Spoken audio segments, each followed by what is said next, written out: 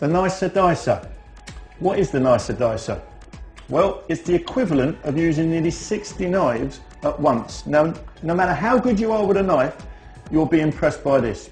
Originally, it was designed as an onion dicer. You know what onions are? Sometimes they can be a pain in the eye.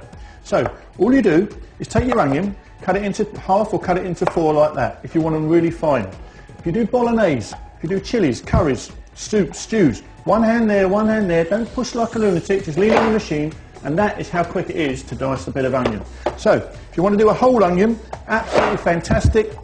It takes seconds, all the smell, all the odour, doesn't go around your kitchen, it goes into the top. That is perfectly diced every single time. And I get quite impressed by this. Look at this, every single piece is exactly the same size. There we are. Perfectly diced in every way. Now, a lot of people think that's easy because it's a harder fruit and drier veg. So, we're going to show you something like a tomato, okay? The reason I use tomatoes, a lot of people do their own salsas. If you do a bolognese, absolutely brilliant. The only tip I can give you, always skin side down with a tomato, simply because you decorate your kitchen red and white otherwise, and uh, not everybody wants a red and white kitchen. So, the tomatoes for a bolognese, for a salsa, if you do bruschetta, anything like that, just lean on the machine and that is a tomato diced perfectly. And again, if you want to add anything to it, as I lift it up, you'll notice it doesn't all fall out. So, if you want to add a bit of uh, onion to it, simply cut a piece of onion. You can do your salsa inside the machine like this. Simple to use, it'll be even easier to clean. And also, I'll show you this. Look, the smaller you cut a piece, the smaller it comes out. So, a few pieces of cucumber like that. And again, if you want to do a salad, put a bit of mozzarella in here. Do mozzarella salad, feta cheese. It works the same way, and you've made a salad in the bowl, perfectly diced, and I'll show you. Turn it upside down, unclip it, and every single piece, look, perfectly diced. Now, if you want to leave that in there, there's a new refrigeration cap. Put that on the top, okay, and then just store it in the fridge. If you want to take it to work, kids take it to school, absolutely fine. But if I show you here how every single piece is perfectly diced there, look, it's fantastic. It takes all the time out of the preparation. Now, I have seen in the supermarkets, and I'm sure you have as well, that when you go and buy some carrots, okay, carrots are dead easy in here, but you go and buy them and they're julienne. You buy them in a little pannet, and in the Costas they're around about a two, a euro, two euros. When you look inside it, it's actually one carrot, okay, sometimes two. So let me show you how to do it in here. And it's not about the size of your carrot, it's how you put it in, and I'm going to show you. If you stand your carrot up straight that way and just dig it in, all you do, lean on the carrot. How quick is that for a stir fry? Okay? If you want to do dips, it's brilliant. I'll show you again. Simple as that. All right? So you can julienne your own food exactly the same way. And if you've ever been in a Chinese restaurant and had the duck before, they don't stand there when they bring their pancake rolls out with a little bit of cucumber, chopping the cucumber like that. Stand a piece of cucumber up in there and watch that. How long would that take you to do with a knife? Look at that. Every single piece is perfectly diced. Is that not amazing? Now, as a machine here, if you want to do chips, to me, this is the quickest chipper you'll ever see. And I'll show you. Take a potato. Okay, now the kids like the thin chips.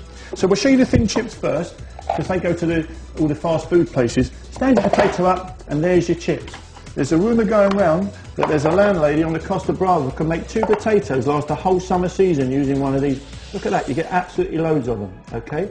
Now, little chips, little blade. To change the blade, lift it up and pull it off. It's as easy as that. Remember, it is designed for men as well, so it does have to be simple. Small blade, small chips. Big blade, big chips. So if you like the old fish and chip shop chips, all you do is take a potato, like so.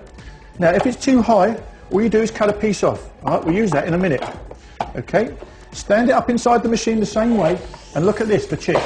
You show me a machine that can make proper fish and chip shop chip any quicker than that. Every single one of them is perfectly diced. How amazing is that? Okay?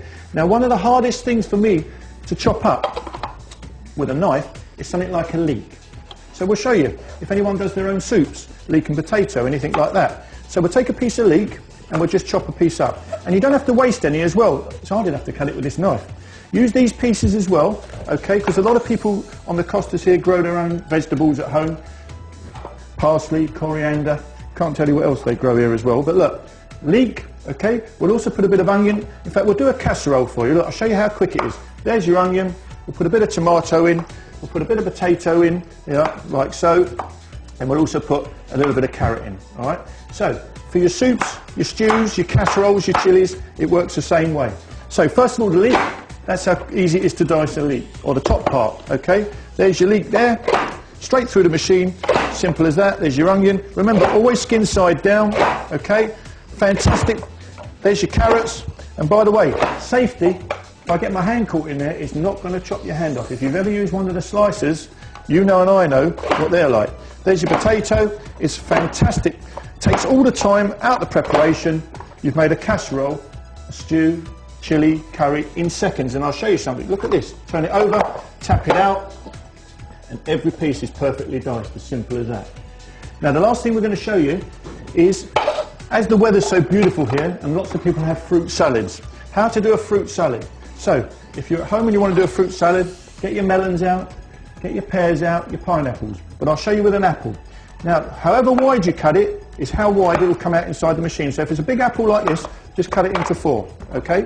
Slightly smaller, cut it into three. Place it on the plate, and you're ready to use it. The only tip I can give you is if you want to peel your apple, it's always easier to peel it before you put it in than after, okay? How quick is that? How long would that take to do with a knife? And for coring, don't stand there coring it, just pull the pieces out you don't want. But look at that every piece perfectly diced. Okay? Now there's as much engineering gone into the washing up of this as there is into the actual use of it. And it's German engineering, German technology. These pieces here, what we call polycarbonate. So the minute you rinse them out in water, no smell, you'll notice it doesn't stain.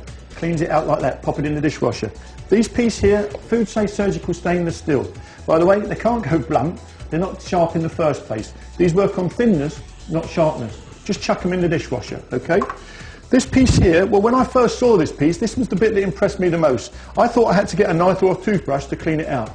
But if it's the only thing you remember about this product, turn it round.